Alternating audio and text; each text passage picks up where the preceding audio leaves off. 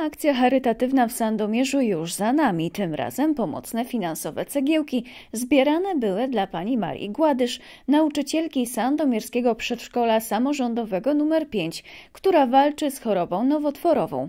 W niedzielny wieczór w Katolickim Domu Kultury w Sandomierzu odbyła się niezwykła akcja pomocy, której gwiazdą była znana serialowa aktorka Katarzyna Żak.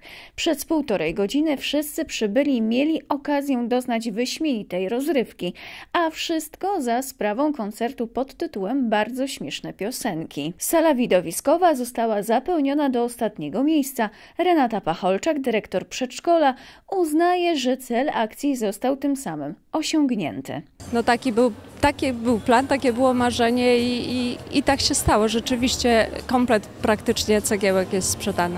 Artystycznemu wydarzeniu pod tytułem Pomóżcie nam pomagać towarzyszył kiermasz świąteczny oraz liczne licytacje, z których dochód również zostanie przekazany na ten szczytny cel. Patronat medialny nad wydarzeniem objęła telewizja Sandomierz.